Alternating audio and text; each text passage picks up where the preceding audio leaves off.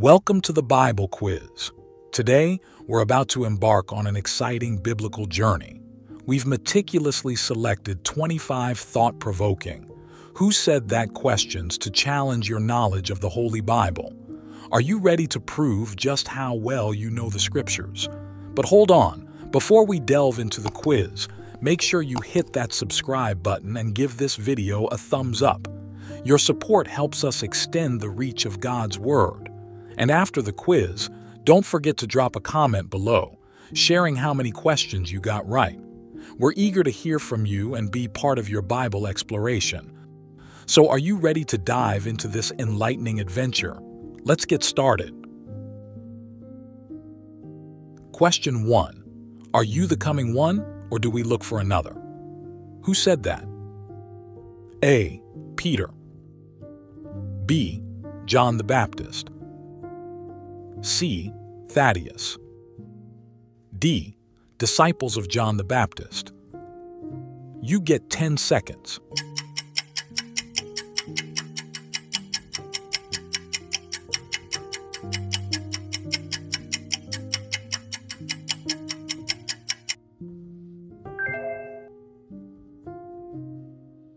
That's D. Disciples of John the Baptist. Disciples of John the Baptist said it in Matthew chapter 11 verse 3.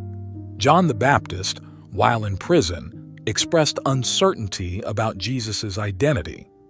This question led to Jesus confirming his role as the awaited Messiah, Matthew chapter 11 verses 3 to 6. Question 2. Am I my brother's keeper? Who said that? A. Abel B. Cain. C. Esau. D. Judah. You get 10 seconds.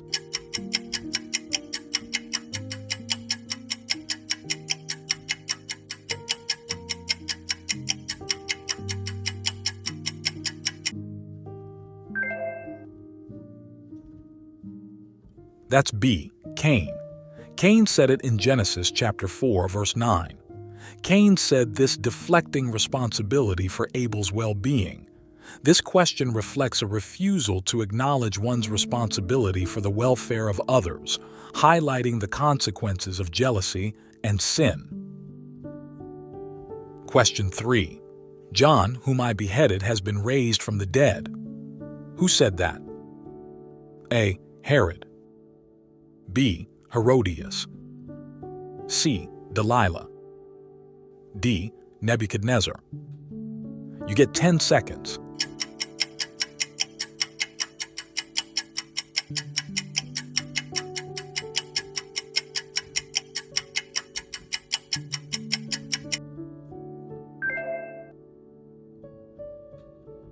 That's A. Herod. Herod said it in Mark chapter 6 verses 16 to 17. Herod Antipas said this expressing his superstition and guilt. Herod's fear and conscience are evident as he hears about the miracles performed by Jesus, linking them to the resurrected John the Baptist. Question 4. What have I done to you that you have struck me these three times? Who said that? A. Elijah B. Balaam C. Elisha D. Balaam's donkey you get 10 seconds.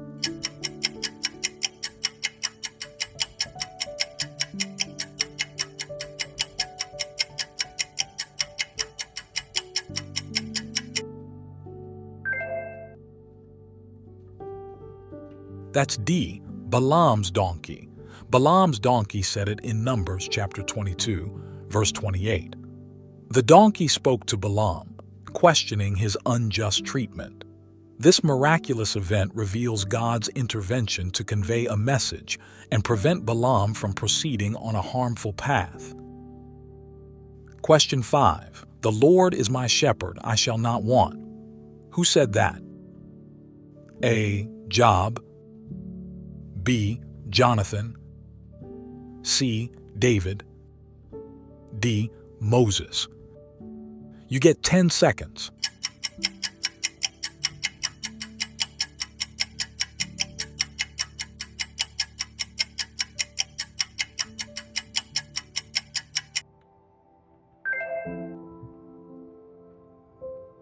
That's C. David. David said it in Psalm chapter 23, verse 1. In this well-known psalm, David poetically expresses his trust in God as a caring shepherd who provides and protects, affirming that in God he lacks nothing. Cherished friend, don't miss out on any of our future quizzes. Hit subscribe and stay tuned for more great quizzes. Question 6. Lord, we do not know where you are going, and how can we know the way? Who said that? A. Andrew. B. Bartholomew. C. Thomas. D. Judas, son of James. You get 10 seconds.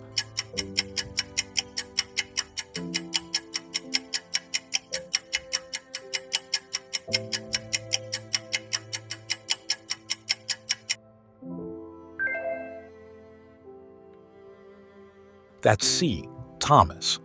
Thomas said it in John chapter 14, verse 5. Thomas, one of the disciples, expressed uncertainty about the destination Jesus mentioned. This question led to Jesus' profound declaration, I am the way and the truth and the life. John chapter 14, verse 6. Question 7. Speak, for your servant is listening. Who said that? A. Abraham. B. Samuel. C. Moses. D. Eli. You get 10 seconds.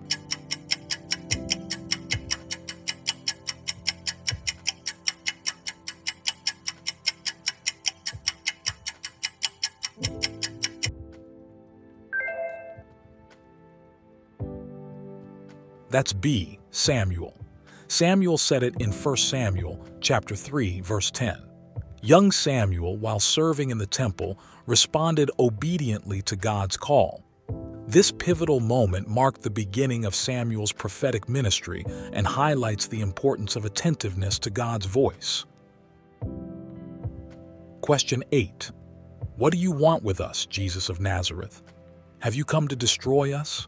I know who you are, the Holy One of God. Who said that? A. Impure spirit. B. Citizen of Capernaum. C. Pharisees. D. Sadducees. You get 10 seconds.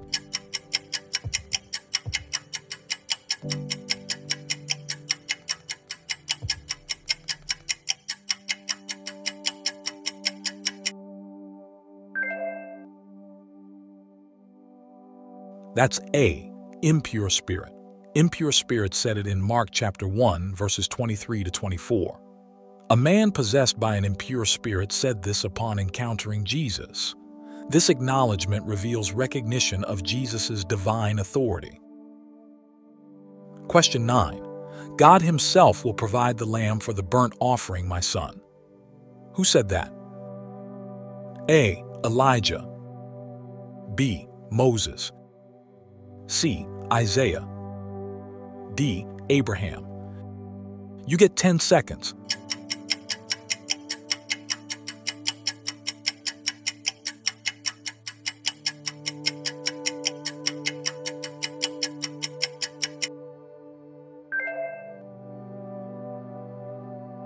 That's D, Abraham. Abraham said it in Genesis chapter 22, verse 8. Abraham spoke these words to his son Isaac during the testing of Abraham's faith. This statement foreshadowed God's ultimate provision, seen in Jesus as the sacrificial lamb, emphasizing divine providence and foreshadowing the redemptive work of Christ. Question 10. How can a man be born when he is old? Can he enter a second time into his mother's womb and be born? Who said that? A. Peter. B. Philip. C. Matthew. D. Nicodemus. You get 10 seconds.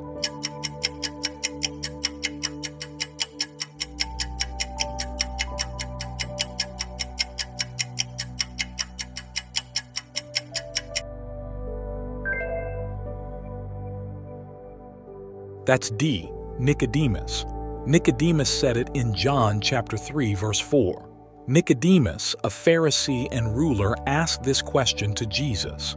His inquiry reflected confusion about the concept of spiritual rebirth, initiating a profound conversation about being born again and entering the kingdom of God.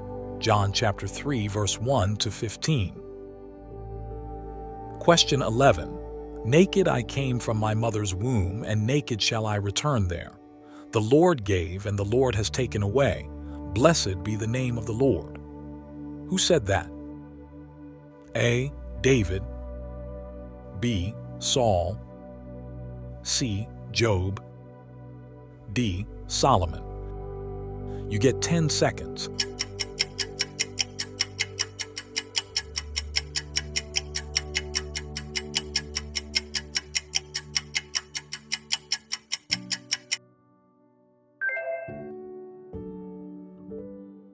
That's C. Job.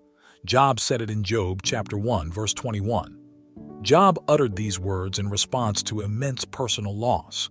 Despite his suffering, Job maintained a posture of acknowledging God's sovereignty and offering praise, highlighting profound trust and faith. Question 12. My daughter, should I not seek rest for you, that it may be well with you? Who said that? A. Esther B. Naomi C. Ruth D. Sarah You get 10 seconds.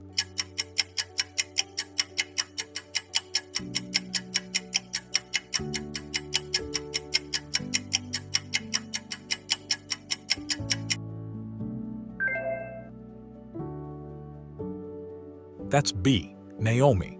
Naomi said it in Ruth chapter 3, verse 1. Naomi spoke these words to her daughter-in-law Ruth, expressing a desire to find a secure and prosperous future for her.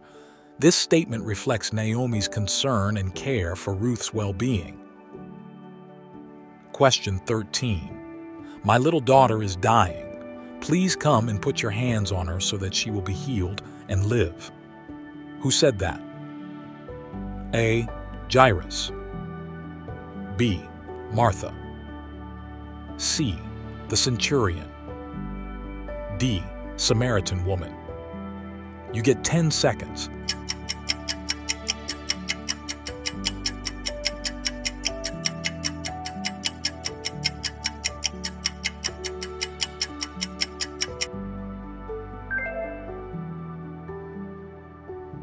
That's A. Jairus. Jairus said it in Mark chapter 5, verse 23. Jairus, a synagogue leader spoke these desperate words to Jesus, seeking healing for his gravely ill daughter. Question 14. Come, let us cast lots to find out who is responsible for this calamity. Who said that? A. Jesus' disciples. B. Egyptian officials. C. Sailors. D. Roman soldiers. You get 10 seconds.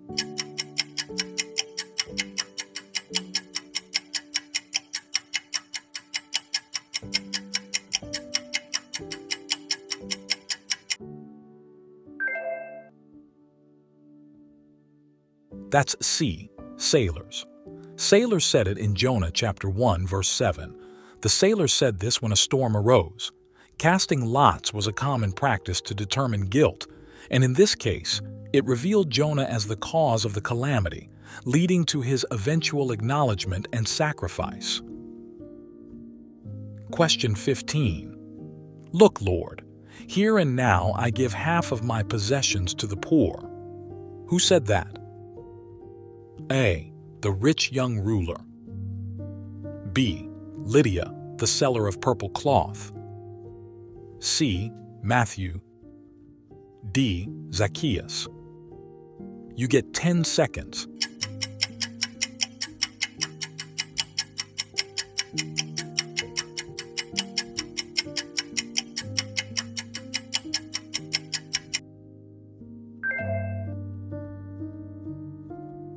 That's D, Zacchaeus.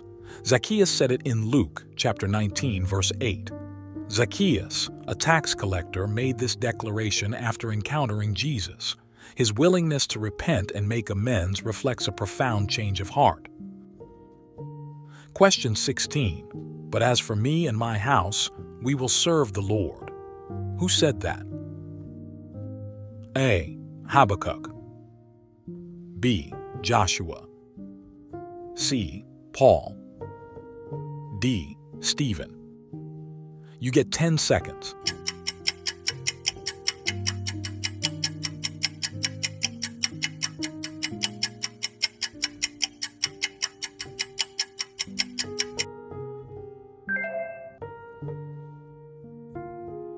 That's B, Joshua.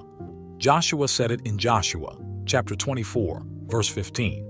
Joshua proclaimed this commitment to serve the Lord, urging the Israelites to choose whom they would serve. This resolute statement reflects Joshua's leadership and determination to prioritize the worship and service of God in his household. Question 17. I know what a beautiful woman you are. When the Egyptians see you, they will kill me, but will let you live. Who said that?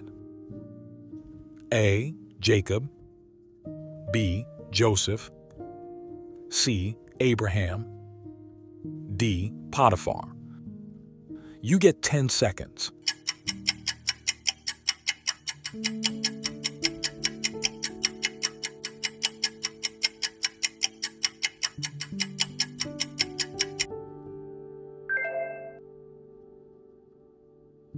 That's C, Abraham.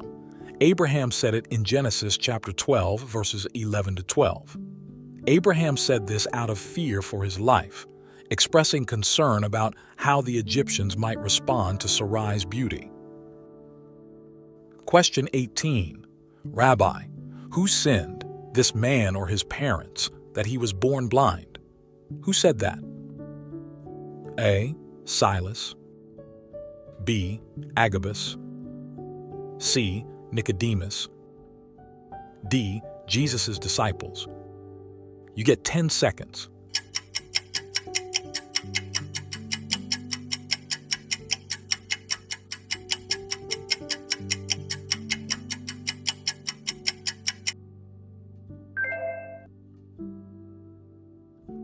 That's D, Jesus' disciples. Jesus' disciples said it in John chapter 9, verses 2 to 3. The disciples asked this question to Jesus, assuming a connection between the man's blindness and sin. Jesus redirected their focus toward God's redemptive purpose. Question 19. Lord, how often shall my brother sin against me and I forgive him? Up to seven times. Who said that? A. Peter. B. Simeon. C. John. D. James. You get 10 seconds.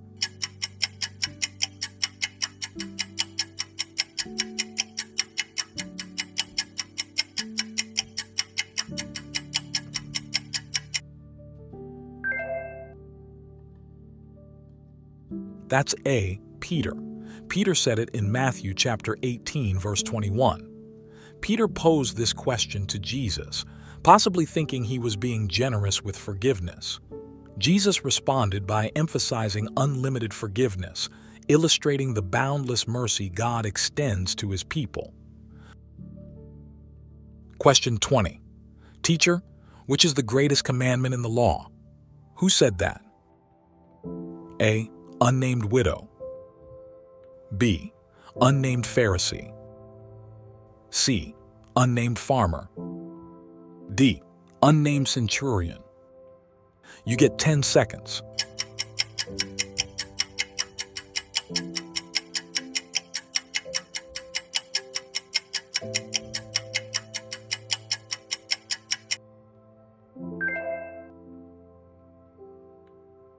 That's B, unnamed Pharisee. Unnamed Pharisee said it in Matthew chapter 22, verse 36. A Pharisee asked this question to test Jesus. In his response, Jesus condensed the entire law into the two greatest commandments love God with all your heart, soul, and mind, and love your neighbor as yourself. This encapsulates the essence of God's expectations for human conduct. Question 21. Have nothing to do with that just man, for I have suffered many things today in a dream because of him. Who said that? A. Jude. B. Elizabeth. C. Pilate's wife. D. Potiphar's wife. You get 10 seconds.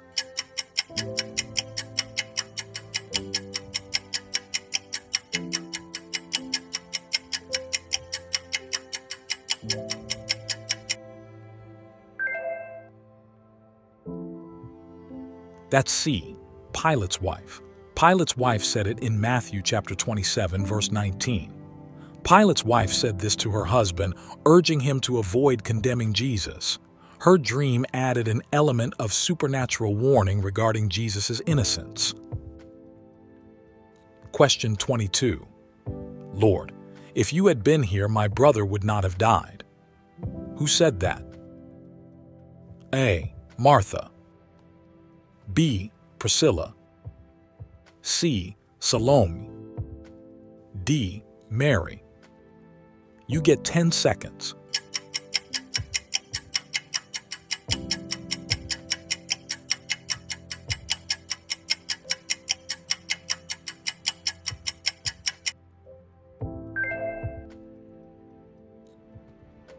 That's A, Martha.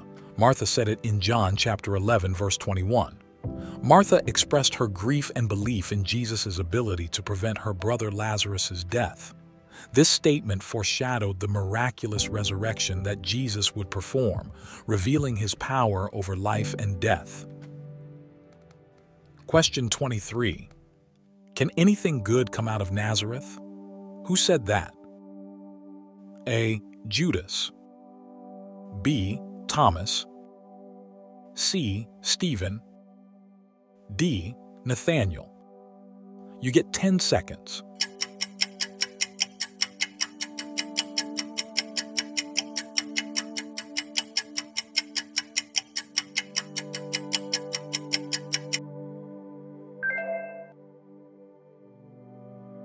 That's D, Nathaniel. Nathaniel said it in John chapter 1 verse 46. Nathanael expressed skepticism about the Messiah's origin. However, Jesus' subsequent interaction with Nathanael convinced him of Jesus' divine nature, challenging preconceptions about Nazareth and affirming that greatness could indeed emerge from unexpected places. Question 24. Go, look over the land, he said, especially Jericho. Who said that? A. David. B. Levi. C. Jacob. D. Joshua. You get 10 seconds.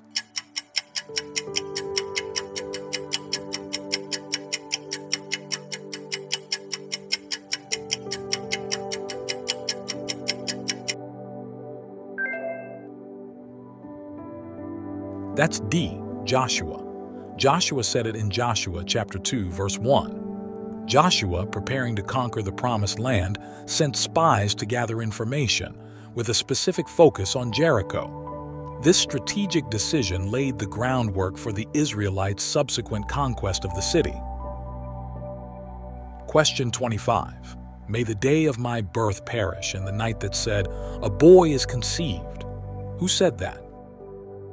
A. Saul. B. Jacob. C. Job. D. Methuselah. You get 10 seconds.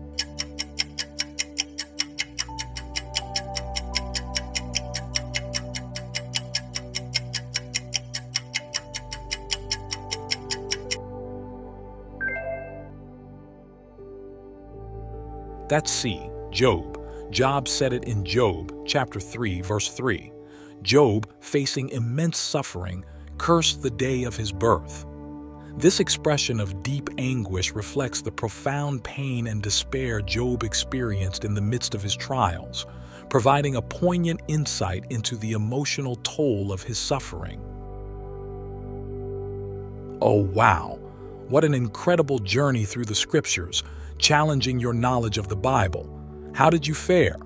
Whether you aced the quiz or discovered something new, always remember that the Word of God is a boundless source of wonder, just waiting for us to explore.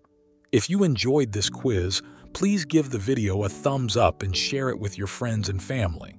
Let's invite them to embark on this biblical adventure as well. And don't forget to click that subscribe button for more quizzes and profound biblical insights. We highly value your feedback, so please share your score, any questions or suggestions for future quizzes in the comments.